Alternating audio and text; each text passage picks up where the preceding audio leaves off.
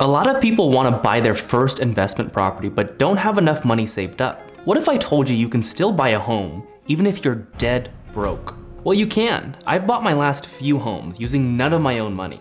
And I'm gonna teach you exactly how I did that so you can do it too. If you're new to the channel, my name's Justin Yurong. I'm a real estate investor and entrepreneur here in Las Vegas. I've made hundreds of videos teaching people about real estate, money, and self-development.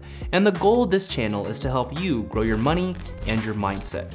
Also, if you don't already, follow me on Instagram at Justin Yurong. Here's my secret. It's not that I buy homes with no money at all. It's just that I use other people's money. I utilize something called private money. And if you don't know what private money is, this is it.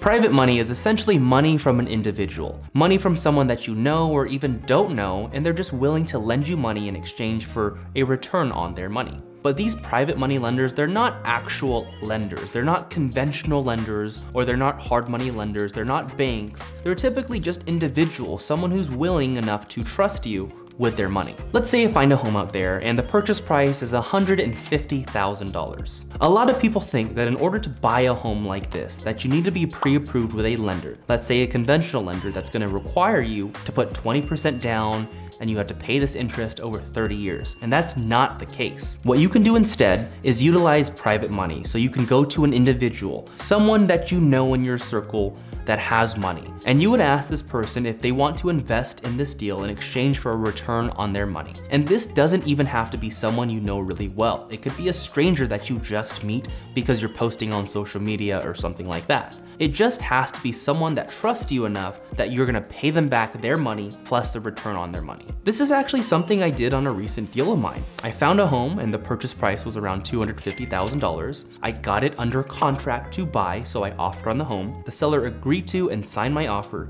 and we now have a fully executed offer, which basically means a fully signed offer.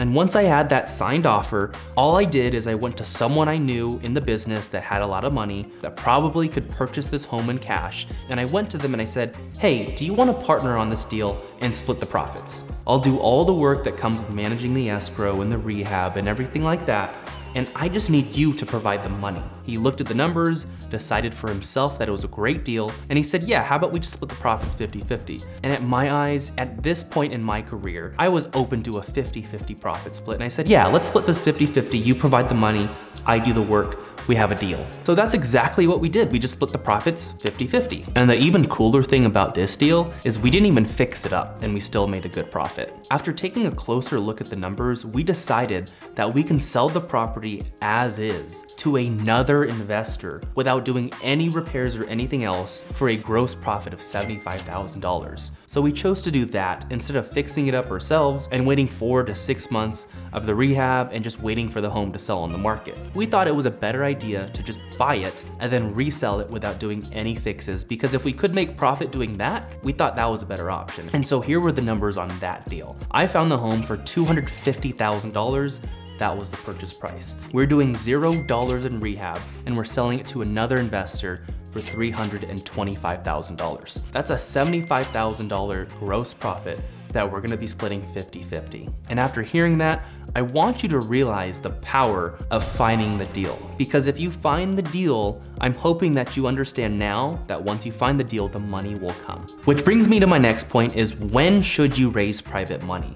A lot of people who are just starting out say that you should find your private money first so that you can secure your money and then go after deals and look for deals. I think the complete opposite. I truly believe that if you find a good deal, you will easily find the money. But the key word in that phrase is a good deal. It has to be a good deal that you find, then the money will come. If you just find what you think is a good deal, but it's not a deal, the money probably won't come because other people are going to analyze the deal and they're gonna say, hey, this isn't that great of a deal. Why would I lend you money on this? And if I'm being honest, I wasted a lot of my own time looking for these private money lenders before I even had a deal to pitch to them. I remember having all these FaceTimes and phone calls and Zoom calls with these potential private money lenders, but I didn't even have any deals. I wasted a lot of my time and I don't want you to make the same mistake. So if you're just starting out, or if you've even been in the game for a little while, keep on finding deals. Put all of your time and attention into looking for these deals, analyzing them, and I don't even care if you're looking for deals on market on the MLS or if you're hunting off market and talking directly to sellers. Whatever you're doing, put all your time,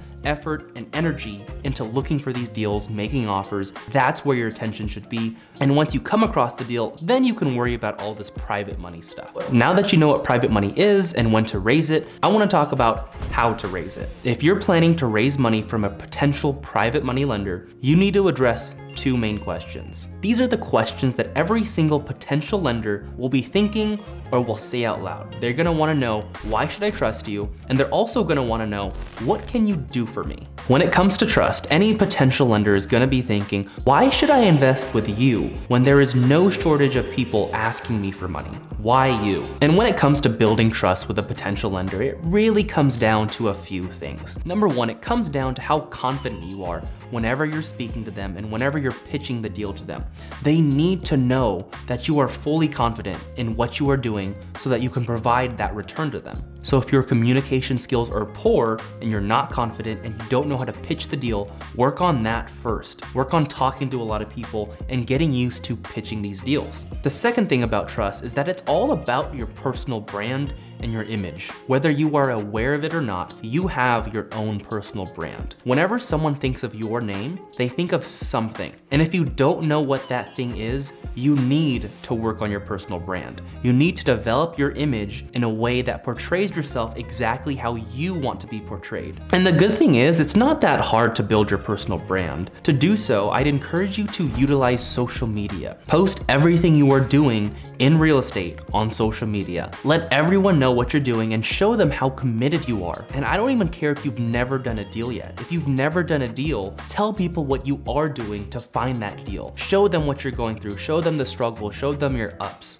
Because when it comes down to building trust from social media, it really just depends on what you're sharing. For example, if on social media you're just sharing all the fun times you're having with your friends, drinking and smoking and doing all these different things, people will think of you as a certain way. And if that is your image on social media, it's more than likely that that potential lender will not want to lend to you because they see that you're not super committed to this whole real estate thing.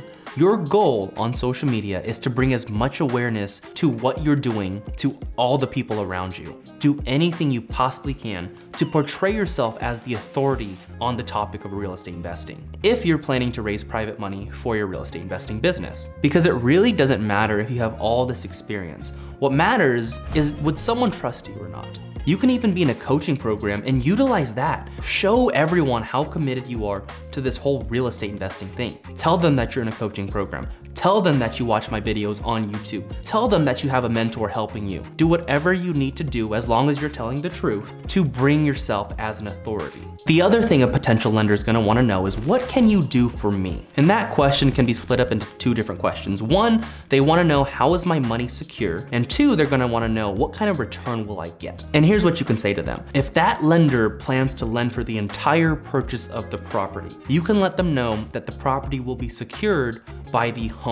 So if you were ever to not perform and follow through with your work, that person could simply foreclose on the home and take the home and they end up with a home at a really good discount. So worst case scenario, they get to walk away with a home at a big discount. And obviously you don't want that to happen and you're gonna follow through with your word and pay them back when you finish flipping the home. As far as what returns they're gonna get, it really depends on what they're looking for. I'd encourage you to ask them what they're seeking. Some lenders will specifically want an interest rate return, others will want an equity split or a profit split. It's completely negotiable between you two as far as what you agree upon and how they're gonna get paid. Just remember it's always better to split a deal than not do the deal at all. Remember that it's always better to split an entire watermelon with someone than have an entire grape to yourself. Also, if you wanna grow your real estate business, whether you're brand new or if you already have deals under your belt, DM me the word coach on Instagram at Justin Yurong. I'll see you at the next one.